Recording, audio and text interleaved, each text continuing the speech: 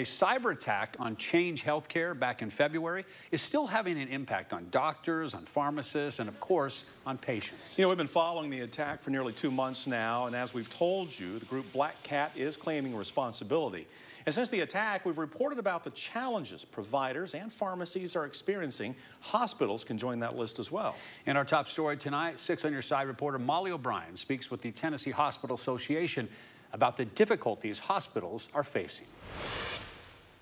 Hospitals faced several issues in the early days following the cyber attack on Change Healthcare. There were issues with prior authorizations and obtaining approvals for testing and procedures that needed to be done.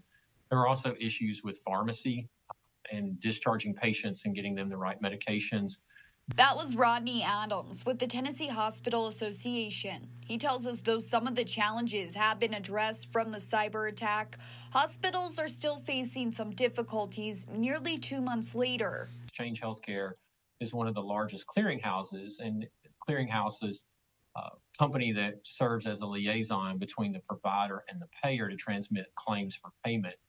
They're one of the largest clearinghouses in the country and they were down for a, a five to six weeks. So what we've seen is a, a tremendous amount of cash flow issues for the hospitals who did use Change Healthcare.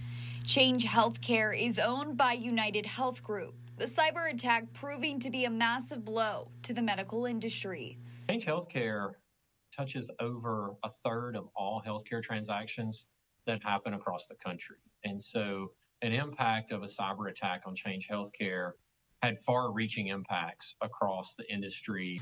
As for hospitals, Adams believes this cyber attack is just adding to the increasing list of problems they're facing. Over 50% of hospitals operated in 2023 at a loss.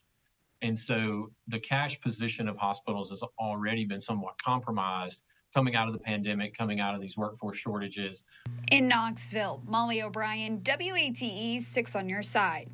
Now, Adams tells us he expects disruptions through at least the end of this month and probably well into May. We reached out to UT Medical Center for a comment on the cyber attack, and a spokesperson says in a statement, quote, we are aware of the outage initially reported by Change Healthcare. We continue to work closely with this partner and remain focused on providing our patients with excellent care.